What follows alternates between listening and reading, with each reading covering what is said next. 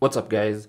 In today's tech tip, I'll be showing you how to install the Amazon App Store on your Windows 11 PC and eventually install Amazon apps on your Windows 11 computer.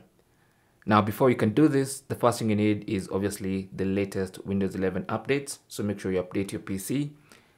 Secondly, you need virtualization enabled in your BIOS.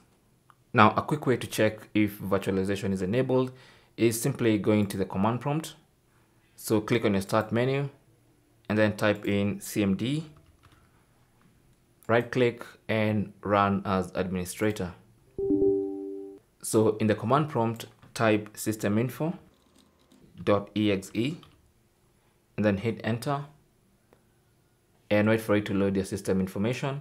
And then what you're looking for is under Hyper-V requirements is virtualization enabled in the firmware and this should be yes. Now, in case yours says no, that basically means virtualization is not enabled. And I'll leave a video linked in the description on how to enable virtualization on your Windows 11 PC. But if it's enabled, then you're ready to install the Amazon App Store in Windows 11. So what you want to do is go to the Microsoft Store, and usually it's linked in the taskbar. But in case it's not, simply go to the Start menu, type in Microsoft, and then select Microsoft Store. And with the Microsoft Store launched, you can sign in just to make things a little better, but you can go ahead and search Amazon App Store. And from the results, you should find the Amazon App Store. So go ahead and click on install. And then it's gonna prompt you to use Amazon App Store on your PC. Click on setup allow by clicking yes and then wait for it to set up. And when it's done with the checks go ahead and click on download. Go ahead and wait for it to download. The amount of time obviously depends on the speed of your internet connection but be patient. And once the download is complete click on next. And here you can either restart immediately or click on restart later but in order for this application to take effect, you'll need to restart your computer. So let's go ahead and restart the PC. And once the computer restarts, the Amazon App Store will launch automatically. And you can go ahead and click on sign in and sign in with your Amazon account. Now, if you've never had an Amazon account, you can create one from here, but I'll simply go ahead and sign in. Now, just in case the app does not launch automatically after the restart, you can launch it from the start menu because it's already installed. Simply search Amazon. And even before you finish typing, you should see Amazon App Store there.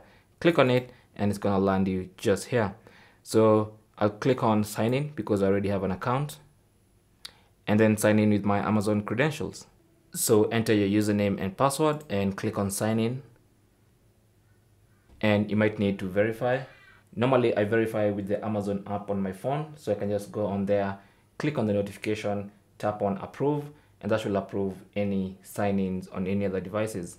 But you can verify the way you normally verify Amazon sign-ins.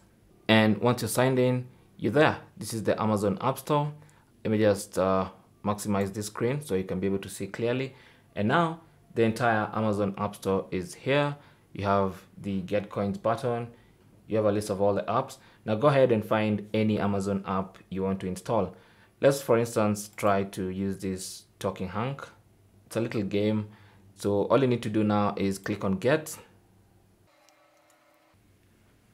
And as you can see, it's currently downloading and it's gonna get installed. And with the app installed, you can open it. And that's really it. That's how to install the Amazon App Store and also the Amazon apps on your Windows 11 PC. Thanks for watching. Leave your comments and questions down below and good luck.